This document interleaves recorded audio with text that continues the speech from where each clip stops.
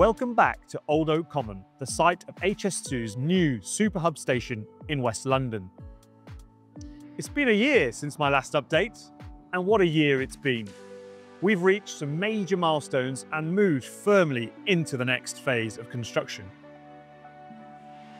I'm Peter Gow, and I'm leading this huge construction effort behind me that's taking place at Old Oak Common. The scale of progress over the last year has been immense. I'm really pleased with the work that our team has delivered over the past year. From completing the foundations that will support our high-speed trains, to seeing the first platforms take shape, and watching the station literally rise from the ground. Let me show you how Old Oak Common is taking shape. We kicked off 2025 by completing the super strong foundations for HS2's high-speed platforms and tracks behind me. This is the culmination of 91 separate concrete pours, each one containing over 100 lorries worth of concrete. This single structure contains 76,000 cubic meters of concrete and 17,000 tons of reinforcement, with a surface area of 45,000 square meters it could accommodate more than six football pitches. And weighing in at 190,000 tonnes, it's heavier than a thousand blue whales. With our first concrete pour taking place back in April 2023, this marked the end of almost two years of work and paved the way for the construction phase we're now in.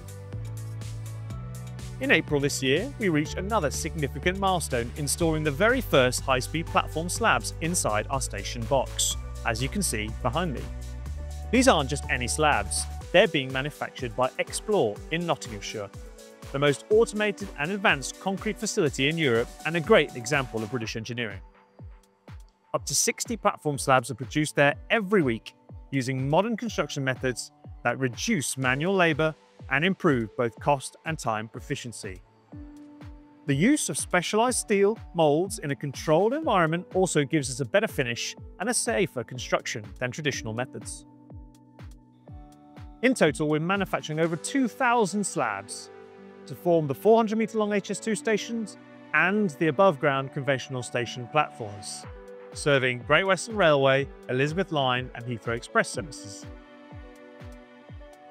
We've started work on all six of the High-Speed 2 400 metre long high-speed platforms, and we're building all six platforms at the same time, constructing from either end of the station box as three island-style blocks. We've also completed all of the architectural columns at platform level, the result of rigorous testing and precision pouring to create smooth surfaces with consistent colour and texture. These will be some of the most visible elements for passengers, and it's exciting to see them coming to life.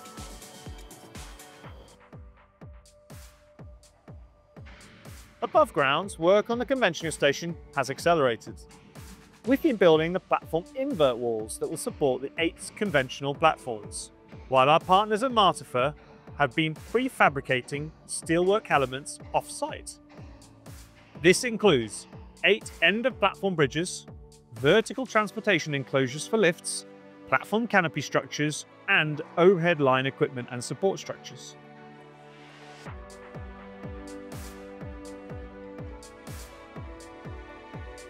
A world-class station needs more than just platforms and a roof.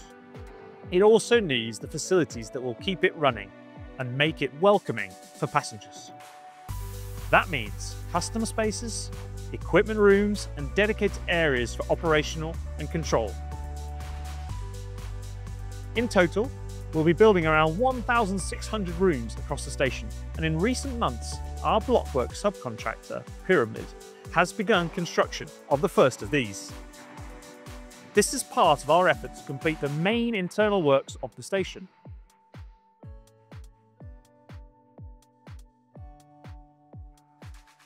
Our commitment to sustainable construction continues to set new standards.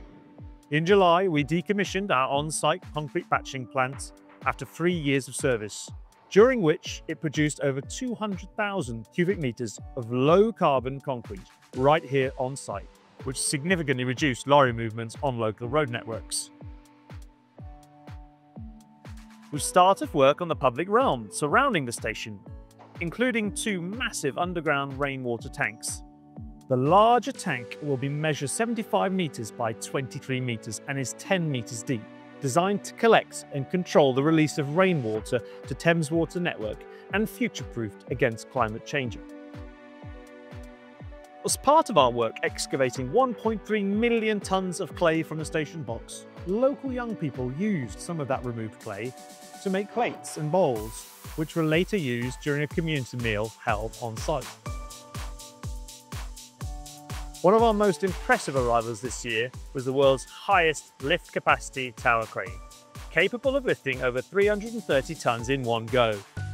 This crane will be essential for the next major phase, assembling the immense roof structure that will unite both parts of the station together. When complete, this roof will span an area the size of three football pitches, maximising natural light while incorporating solar panels for renewable energy. Our roof team has already been testing the drainage systems using a full-scale rig which simulates extreme rainfall to ensure that design can handle anything the British weather throws at it. Over the past year, we've been working closely with our construction partner, SCS JV, to prepare the eastern end of the station box for the start of the exciting Euston Tunnel programme. Soon we'll be handing over the section of the site so they can launch the two giant machines that will dig the 4.5 mile tunnel to Euston. Both machines have already been lifted into the station box and are carefully being assembled, ready for their journey beneath the capital taking HS2 right into the heart of London.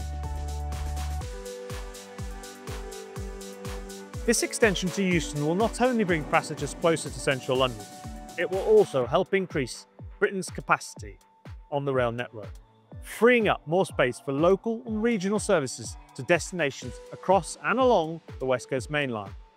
And as the line arrives at Euston, it's expected to spark a major regeneration of the area creating thousands of new homes and jobs. The next 12 months will see even more exciting progress. By spring 2026, we expect to have all our high-speed platform slabs installed and all reinforced concrete cores complete. We're starting to install the Y-shaped steel columns for the conventional station. These will support the station roof and will also be lifting the first end-of-platform bridge into place where passengers will be able to move between the platforms easily. When Old Oak Common Station opens, it will truly be a transport revolution. Passengers will travel from central Birmingham in just 42 minutes and connect quickly to Great Western Main Line and Elizabeth Line services. We are planning for the first passenger services to run between Old Oak Common in West London here and Birmingham Curzon Street the next stages are then to extend HS2 south to London Euston and north to connect with the existing railway to the northwest and to Scotland. More than 2,000 people continue working here at Old Oak Common site every day, and we've now welcomed our 150th apprentice to the team since starting in 2019, leaving a skills legacy for the construction industry. We're not just building a station, we're creating a thriving, well-connected neighbourhood that will transform this area for generations to come. The new station remains the cornerstone of our ambitious Old Common and Park Royal development, set to create 56,000 jobs and 25,000 homes. The latest research shows that Old Oak Common's HS2 will be a significant economic driver for West London alone, delivering a £10 billion boost to the local economy over the coming decade. This means more growth, more jobs and more investment, all made possible by Britain's biggest build. I hope you enjoyed this update and seeing the progress we made this year. Moving from deep underground foundation works to seeing new structures and rooms taking shape above. There's still plenty of challenges and work ahead, but our teams are hard at work every day, focused on ensuring Old Common becomes a transport super hub. Across the wider HS2 programme, we will create capacity for more trains across Britain's congested rail network, cut journey times between London and Birmingham and drive jobs and growth. But to secure that prize, we must reset the programme to get HS2 on track. Right now, we're focusing on essential works that accelerates construction safely and lays the foundation for future delivery. I look forward to updating you again soon as we continue this journey.